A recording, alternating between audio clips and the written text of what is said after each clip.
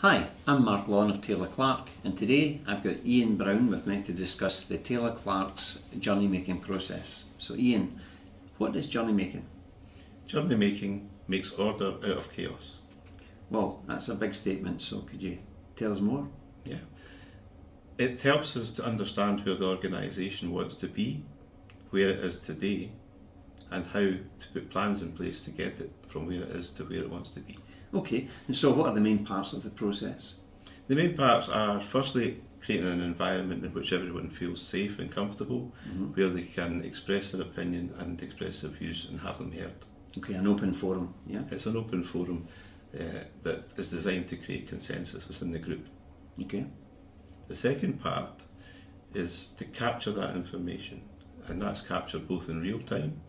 But also in a computer system so that it can be used for later reference. Okay, and to access the information in a structured manner, yeah?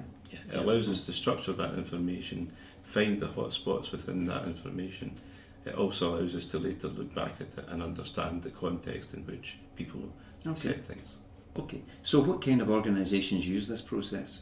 There's many kinds of organisations use it across um, all sectors and it can be used on a one-to-one basis mm. through to a multinational. Mm. Most most organisations are SMEs, mm. um, and it can be used at any level within the organisation as well. Okay, and who in the organisation is involved in the in the process? Normally, if it's strategic, you would start at the top, working with the, the directors and senior managers. Mm. Um, if we get into the implementation phase, then we can work with managers and even people at, at the shop floor level mm. to help them engage and, and understand where the organisation is going and help understand how to get there. Tell me, what differentiates this process from other strategic review processes? I think the big thing is that one, it focuses on consensus, but secondly, um, it manages complexity.